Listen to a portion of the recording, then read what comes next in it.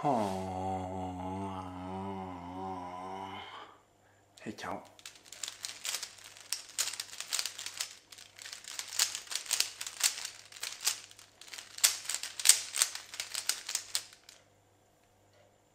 Muy buenos días a todos ustedes. Bienvenidos a mi canal. Mi nombre es Anderson y esto es Blackstone TV.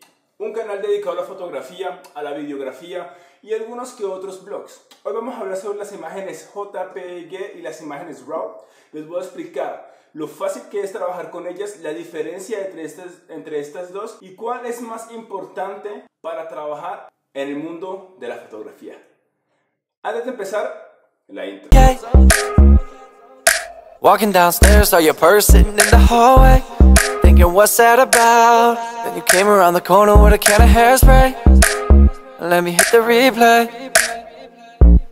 Candles are out, lights are up, I'm still. Como lo había comentado antes, el canal habla sobre la fotografía y la videografía. Hoy vamos a hablar sobre los dos archivos bastante conocidos en la fotografía como la, el formato JPEG y el formato RAW son dos archivos completamente diferentes y siempre que empezamos con la fotografía es un poco difícil encontrar la diferencia entre estos dos. Antes de empezar me gustaría invitarlos a que pasen a ver estos videos que voy a poner aquí, donde les explico también cómo subir en Instagram, cómo mejorar la fotografía, cómo editar videos también con un video de gama media, por ejemplo, para aquellos que no tienen grandes recursos de tener un iPhone X o un Samsung S9 o cualquier tipo de teléfono de gama alta. Al final del video también voy a hacer una encuesta sobre algunos fotógrafos que me gustaría saber cuál de todos ustedes conocen y cuáles de ustedes les gusta para poderles mostrar en un futuro cómo trabajan ellos en una computadora utilizando Lightroom y Photoshop al mismo tiempo. Hoy vamos a hablar sobre algunos puntos entre las imágenes JPG o JPG y los archivos RAW.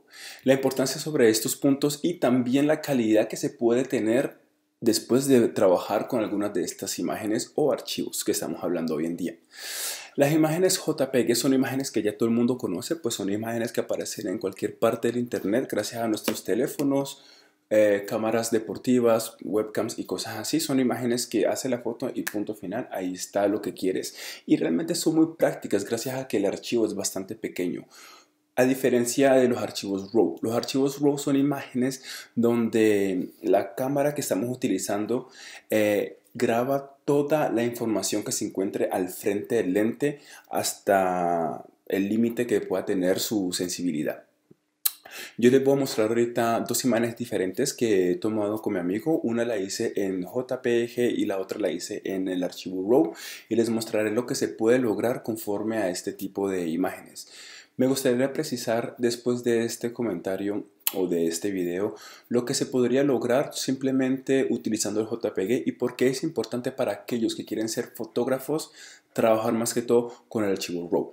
Punto muy importante, si ya has visto uno de mis videos anteriores, sobre todo en cómo crecer en Instagram y al ver cómo yo toco mis fotos, es necesario saber para ustedes que si tienes la intención de crecer en Instagram, y quieres tener fotografías a un nivel un poco más avanzado del que ya estás acostumbrado, vas a tener cierta obligación en decidir con cuál de estos dos archivos vas a querer trabajar en un futuro.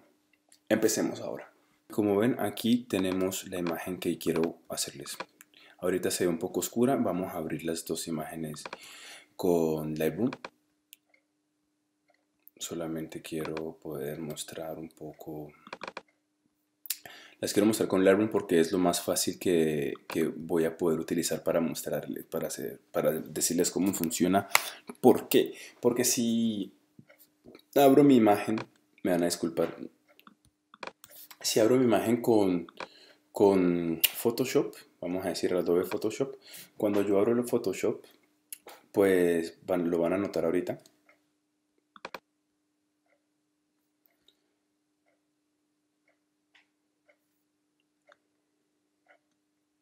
Si lo abro en Photoshop, me abre automáticamente pues el escritorio normal para poder hacer mis trabajos. De lo contrario, que si lo abro en formato RAW a lo que sería el Photoshop. Como van a ver, se me abre un plugin que se llama Camera Row, aquí en esta parte, en el cual me va a permitir hacer ciertos cambios. Entonces va a ser difícil poder trabajar con los dos archivos en carpetas diferentes. Al contrario de, al contrario de Lightroom, que puedo, al contrario de Lightroom, que puedo coger las imágenes que yo quiero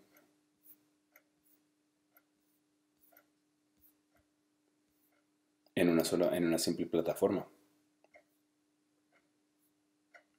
Eh, no quiero que vean todas las fotos porque son fotos que estoy trabajando para mi Instagram.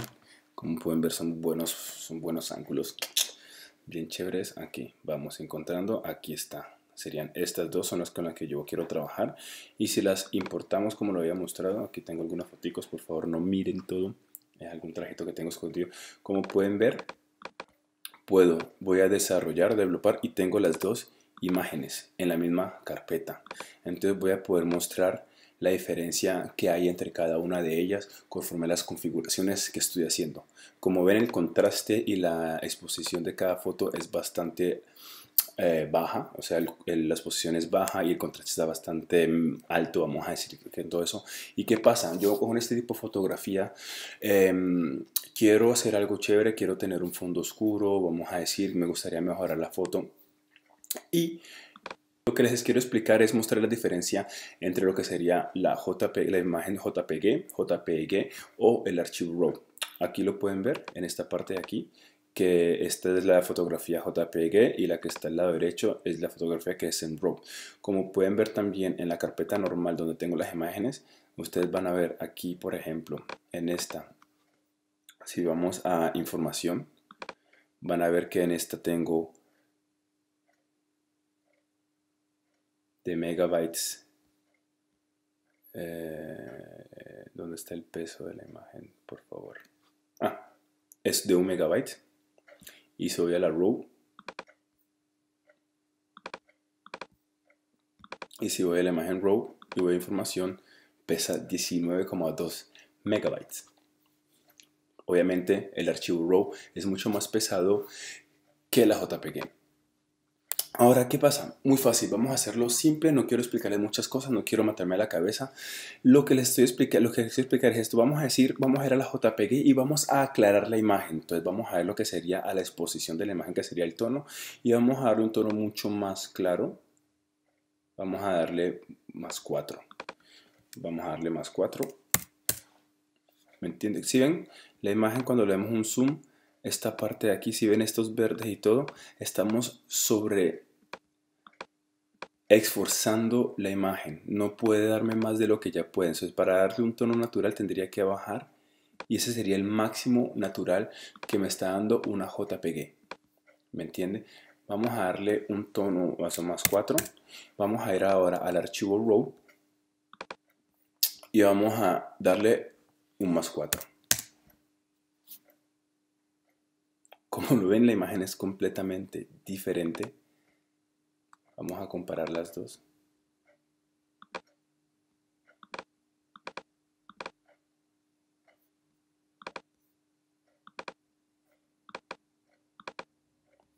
Vamos a comparar las dos. Esta es la que la JPG y esta es la que en archivo RAW.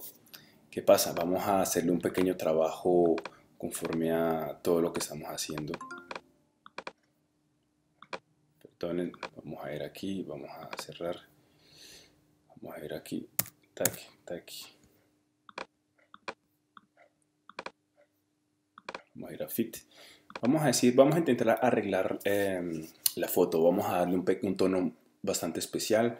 Vamos a quitarle ese tono amarillento a la imagen. Vamos a ir un poco más al, al lado vamos a decir así, bueno, vamos a ponerle aquí menos 20, vamos a darle aquí un más 30, la exposición vamos a dejarla en 4, el contraste vamos a aumentarlo en 30, vamos a bajar los bajos, vamos a bajar los bajos un poco, los altos, perdón, vamos a ponerle un menos 10, un menos 10, a las sombras vamos a quitar las sombras para que se aclare la imagen. Sería, vamos a darle un más 35. Y bueno, vamos a hacer lo mismo con, con la otra imagen. Lo simple que vamos a hacer es que voy a coger esto, vamos a darle un clic a esta cámara aquí y vamos a ponerle a sincronizar. Vamos a excitarlo todo para que la otra imagen tenga también pues em, los mismos parámetros que yo acabo de poner aquí. Vamos a comprar las imágenes. Entonces, como ven, estos son los lo que hemos hecho de esta imagen a esta imagen. Vamos a mejorar la otra, o sea, lo hicimos con parámetros a mejorando esta imagen de aquí que sería la JPG para que sea más o menos normal conforme a esta imagen. Pero las configuraciones no son las mismas, obviamente, porque la información no es la misma. Vamos a ir a desarrollar, desarrollar otra vez de nuevo. Vamos a quitar esta cosa de aquí y vamos a darle el toque a esta imagen conforme como nos gustaría. Vamos a darle el tono un poco más, eh, más amarillentico para que mi amigo no se vea tan pálido. Vamos a darle ese efecto de vintage más antiguo. La exposición vamos a subirla más hasta el 5 porque queremos bastante luz. Vamos a darle un poco más de contraste a las imágenes. Los altos los vamos a bajar un poco. Lo que serían las sombras vamos a quitarlas. Vamos a aumentar los blancos a más 30 y vamos a los blancos vamos a ponerlos así. Creo que si comparamos la foto a cómo se veía antes, a cómo se veía ahora, está completamente, es diferente y es súper genial. La, la, calidad de imagen por toda parte, como lo pueden ver, se ve muy bien, ¿me entiende?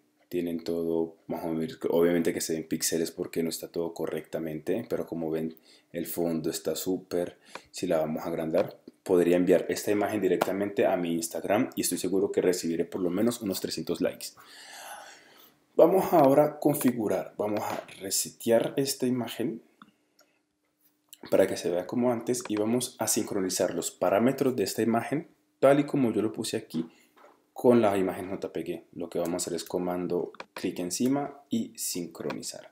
Sincronizamos todo, esperamos que cargue, deseleccionamos las imágenes y vamos a la imagen del otro lado y boom. Vamos a Library, vamos a comprar las dos imágenes Boom. Esta es la foto con la misma configuración de imagen que yo he hecho con la RAW y realmente pues no tengo que decir mucho, la diferencia es completamente gigante. Vamos a ir a desarrollar, vamos a darle un poco de sombras. Como pueden ver, los, los píxeles se ven horribles, todo está muy, muy, muy mal hecho. El fondo se... Es un efecto que yo diría no es nada mal, pero si subo esta imagen en Instagram, llegaré a los 30 likes porque tengo amigos en Instagram y serán los que me van a dar el like. Algunos de ellos. Con lo que yo acabo de hacer no quiero decir que el formato JPG sea innecesario o sea inútil para hacerlo un poco más formal. Lo que quiero decir con todas estas cosas es que con la JPG podríamos hacer cosas que no se harían con el archivo RAW en momentos de urgencia.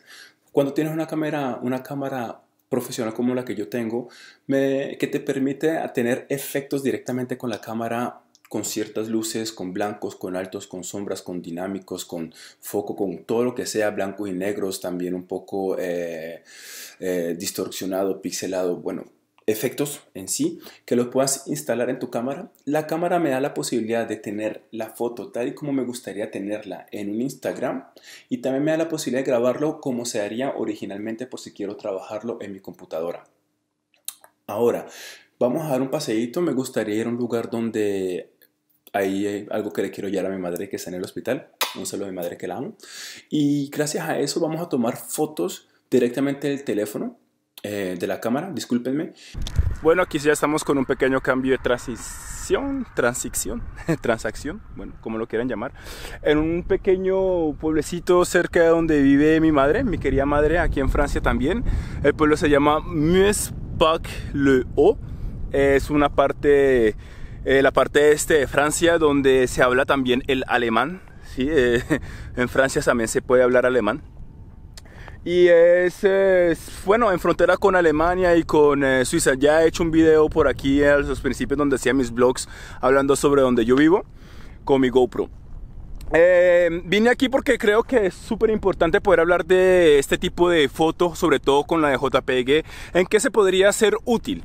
Porque no solamente es el RAW lo que es bueno, sino que la JPG también nos podría a salvar de muchas situaciones, por ejemplo, viajando, vamos a decir, eh, por ejemplo, en algunas vacaciones o cualquier otra cosa en la, que, en la cual podríamos eh, descargar la foto rápidamente del aparato fotográfico y llevarlo al celular y cargarlo en Instagram para que pues tengamos una actividad regular porque no todo el mundo va a poder tener la posibilidad de llevarse la computadora por encima así que déjeme cambiar el lente hacer una configuración para la cámara y ya estaremos al tanto en cómo vamos a hacer las imágenes ¡Wepa! bueno como lo ven He hecho un pequeño cambiecito, solamente he saturado más los colores altos, o sea, los colores eh, vivos como el naranja, rojo, todo eso. Como ven las flores en mi exterior ya tienen un poco más de color, las sombras también están más altas.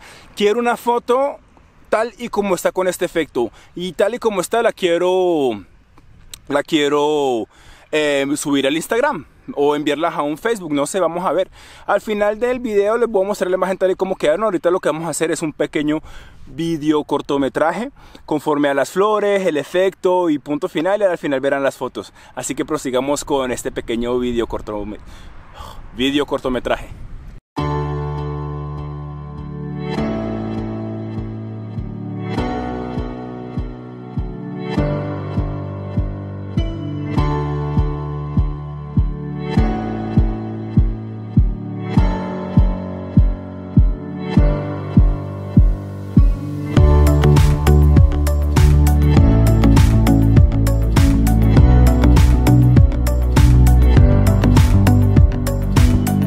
Me está gustando, me está gustando las imágenes.